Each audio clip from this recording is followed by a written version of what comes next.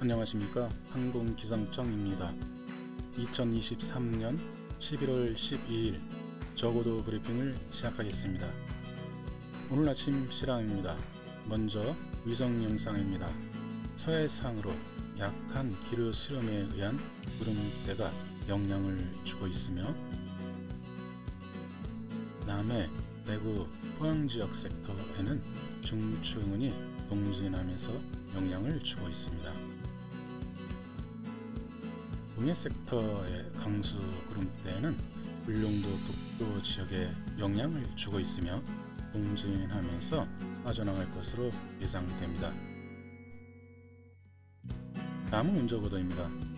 군산 섹터 울릉도 독도 지역으로 하층은 1500피트 이하 영향 있습니다. 다음은 적어도 고도별 습수 예상입니다.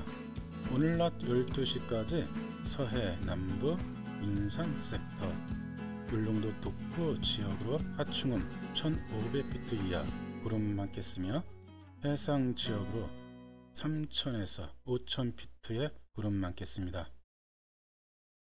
다음은 시정입니다. 전국 대부분 지역에 가시거리 10km 이상 관측되고 있습니다. 적어도 주요 기상 분석 및 예상입니다.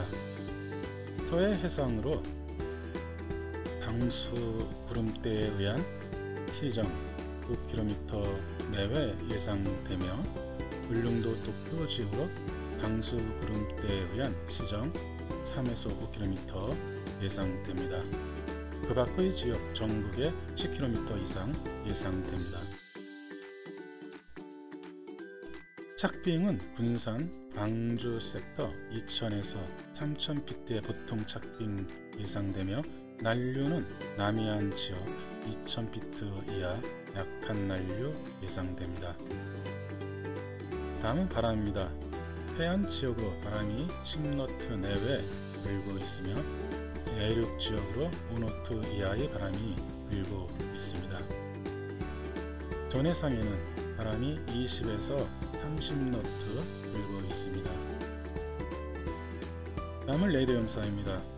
광주 서부, 제주 북서부 섹터, 동해 섹터에 강수 구름대 있으며 울릉도 독도 지역으로 약한 강수 있습니다.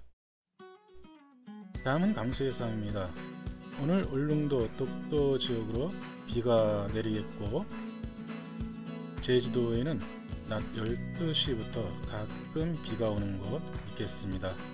오늘 저녁 18시부터 전래 소해안에는 가끔 비가 오는 곳 있겠습니다. 다음은 오늘의 주요 기상입니다. 오늘은 중국 북부 지방에서 남쪽으로 이동하는 고기압의 영향을 받겠습니다. 전국이 대체로 맑겠으나 충남권과 전라권은 구름 많고 제주도는 대체로 흐리겠습니다. 한편 강원 영동과 경북 동해안은 오늘 밤부터 내일 새벽 사이에 가끔 구름 많겠습니다. 이상으로 2023년 11월 12일 적어도 브리핑을 마치겠습니다. 오늘도 안전한 비행하시길 바랍니다.